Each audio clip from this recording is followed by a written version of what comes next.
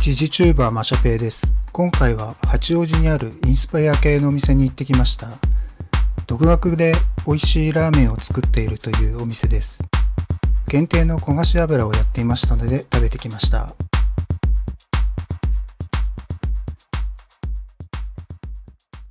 今回は八王子にあるラーメンエースさんに行ってまいりました。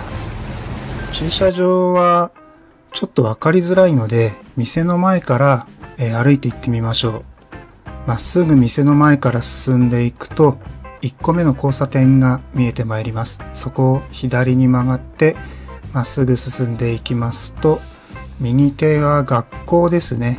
この学校の前をまっすぐ進んでいきまして、えーずんずん進むと1個目の信号がまた見えてまいります。その信号をですね、渡りますと、えーラーメンエースさんの看板が見て、見えてきますので、1から4番に止めてください。今回は限定の焦がし油を食べに行ってみました。食券機はこんな感じです。ラーメンと味玉生姜を頼みました。店内の椅子で待ちます。黄色がベースになっているカウンターの上にはカレー粉や青のりなどがありましたね楽しみです。ではいただきます。この焦がした油がですね風味が濃くなってるというかとってもいい感じでした。これと野菜と一緒に食べると抜群に美味しかったですね。野菜の茹で加減はちょうどよくてシャキシャキでした。油がトロトロで甘さもあって野菜と食べると本当にいい感じになったんですね。これが本当美味しかったです。そして、えー麺を早く食べたくて早々に天地返ししちゃいました。僕はいつも野菜から食べていくタイプなんですけれども早く麺が食べたかったんですねこの時は。麺は太麺で平打ちのストレートでして小麦の香りがちゃんと香ってきます。少しもっちりとしていてスープが染み込みやすいタイプでしたね。これがすごい美味しかったです。固めでちょうどいい茹で加減でした。スープとの相性が抜群でしたね。スープが染みた野菜がとっても美味しかったですよ。この野菜ほんとなんかハマりましたねこの時は。はい。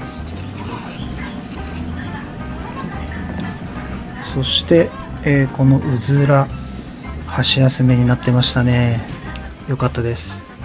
スープは少しライトな感じの微乳化系うーんインスパイア系って感じがします。豚の出汁がすごく感じられて返しとのバランスが本当にいいと思いました。これが独学だからっていうのがすごいですね。本当自分で今モニター見ててめっちゃうまそうです。別皿の生姜を入れるとこれがマジパワーアップなんですよね。ものすごい合います。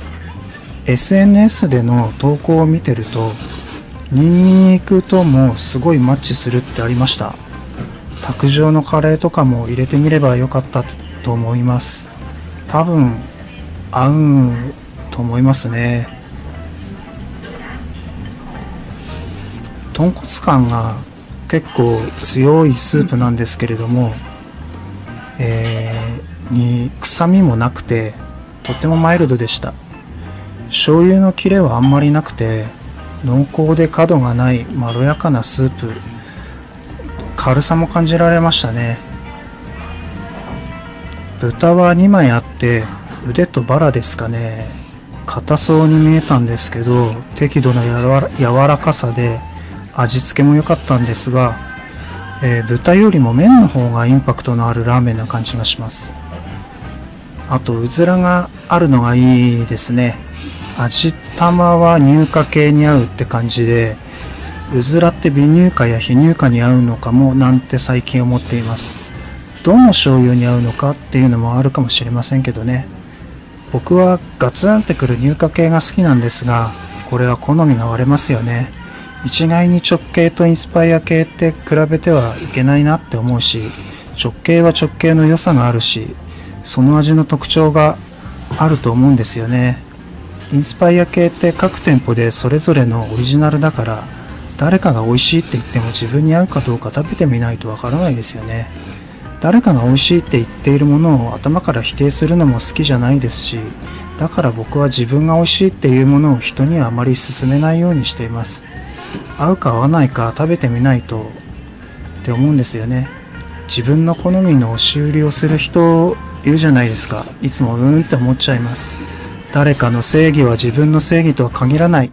それが僕のラーメン道です。それがマシャペイチャンネル。よろしくお願いいたします。さて、もう完食ですね。とても美味しかったです。